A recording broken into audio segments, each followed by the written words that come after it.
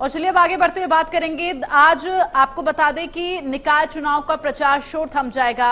आज पहले चरण का जो चुनाव प्रचार है, उसका शोर थम जाएगा, ये बड़ी जानकारी। और आपको बता दें, आज शाम पाँच बजे के बाद डोर टू डोर प्रत्याशी जाकर वोट की अपील कर सकते हैं। छह जुलाई को मतदान पहले चरण का होना है और ऐसे में आज चुनाव प्रचार का शोर जो है पहले चरण का वो थम जाएगा तो लगातार तमाम राजनीतिक पार्टियाँ पूरा दमखम लगा रही हैं और बीजेपी और साथ ही कांग्रेस दोनों ही पार्टियों की तरफ़ से आज रैली का आयोजन है और रोड शो किया जाएगा।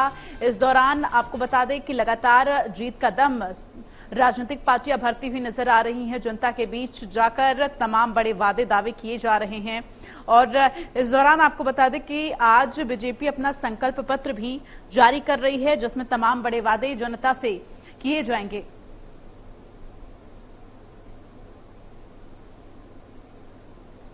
और ज़्यादा जानकारी के साथ कुलभूषण हमारे साथ संवाददाता लाइव जुड़ गए हैं। कुलभूषण, जिस तरह से लगातार निकाय चुनाव के पहले चरण को लेकर आज हालाँकि चुनाव प्रचार का जो शोर है वो थम जाएगा।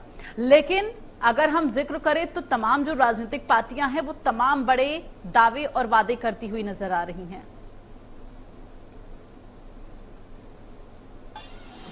देखिए आज दिग्गज नेताओं का रोड शो मध्य प्रदेश में देखने को मिल रहा है। कांग्रेस प्रदेश अध्यक्ष कमलनाथ का रोड शो इस समय जारी है और लगातार ये तस्वीर भी मैं आपको दिखाना चाहूँगा। हम्म। कैमरामैन से कहूँगा कि ये तस्वीर कमलनाथ के रोड शो की दिखाई है। इसके साथ ही मुख्यमंत्री शिवराज सिंह चौहान का रोड शो इंदौर में देखने को मिल रहा है। ज्योतिरादित्य सिंधिया और यहाँ पर केंद्रीय मंत्री नरेंद्र सिंह तोमर का रोड शो आज ग्वालियर में रहेगा।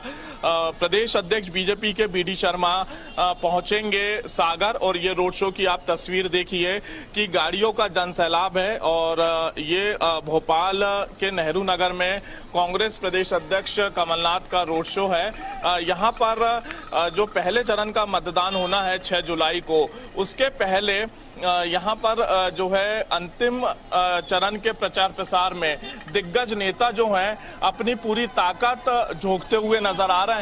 और इसी ताकत के साथ जो है कमलनाथ जो है आज रोड शो करते हुए नज़र आ रहे हैं और इसके साथ ही मुख्यमंत्री सहित तमाम जो दिग्गज नेता हैं, वो रोड शो में नज़र आएँगे और ये तस्वीर आप लगातार रोड शो की देख सकते हैं कि तमाम दिग्गज नेता जो हैं वो इस रोड शो में शामिल हुए हैं।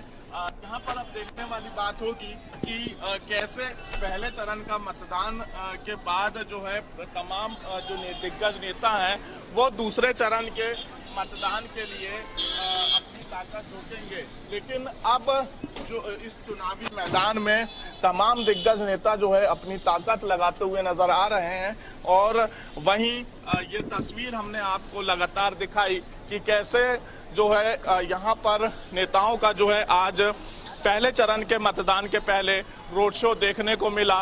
एक बड़ा रोड शो, राजधानी भोपाल, इंदौर ग्वालियर सागर में आज देखने को मिल रहा है और 6 जुलाई को सुबह सात बजे से जो है मतदान नगरीय निकाय चुनाव को लेकर शुरू हो जाएगा। मध्य प्रदेश में सात साल बाद चुनाव है। दोनों ही पार्टियाँ जो हैं, उनके दिग्गज नेता पूरी दमखम के साथ चुनावी मैदान में उतर चुके हैं। बिल्कुल, कुलभूषण, जिस तरह से आपने अभी ज़िक्र किया कि सात साल बाद नगरीय निकाय चुनाव हो रहा है, जो कि बेहद महत्वपूर्ण हो जाता है और ऐसे में तमाम जो राजनीतिक पार्टियाँ वो पूरा दमखम लगा रही है। आज ताबड़तोड़ रैलियाँ की जा रही हैं, लेकिन इन सब के बीच जनता का झुकाव किस तरफ़ ज़्यादा नज़र आ रहा है? चूँकि तमाम बड़े जो वादे हैं, वो सभी राजनीतिक पार्टियों की तरफ़ से किए जा रहे हैं। क्या लग रहा है कि किसके वादे जो हैं किनके वादों पर जनता विश्वास कर पाएगी? बिल्कुल यहाँ पर देखने वाली बात होगी कि जनता किसके वादों पर विश्वास करती है। एक तरफ़ तो बीजेपी का संकल्प पत्र है, दूसरी तरफ़ कांग्रेस का वचन पत्र है। इन वादों के साथ ही जो कांग्रेस और बीजेपी के नेता हैं, वो रोड शो में आम जनता को अपने अपने वादे गिनाते हुए नज़र आ रहे हैं। लेकिन ये जनता डिसाइड करेगी कि उसे नगर निगम और नगर पालिका में अपना प्रतिनिधि किसे चुनना है, क्योंकि मध्य प्रदेश में सात साल बाद चुनाव हो रहे हैं और ऐसी स्थिति में दो साल तक जो है यहाँ पर जो पार्षद प्रत्याशी हैं, उन्होंने वार्ड में क्या समस्याएँ हैं, उनको झाका भी नहीं लोगों का हालचाल नहीं जाना लोगों की सुध नहीं ली। ऐसी स्थिति में यहाँ पर अब देखने वाली बात होगी कि जो जनता की समस्या है उन समस्याओं को कौन पूरा करता है। लेकिन फ़िलहाल अगर बात की जाए तो तमाम दिग्गज नेता चुनावी मैदान में है ठीक है चलिए तमाम जानकारी के लिए कुलभूषण बहुत बहुत धन्यवाद और अपनी नज़र बनाकर रखिएगा तमाम अपडेट आपसे लेते रहेंगे। मध्य प्रदेश छत्तीसगढ़ की हर खबर सीधे आपके मोबाइल फ़ोन पर। अभी सब्सक्राइब करें हमारा चैनल और पाएँ पल पल की खबर।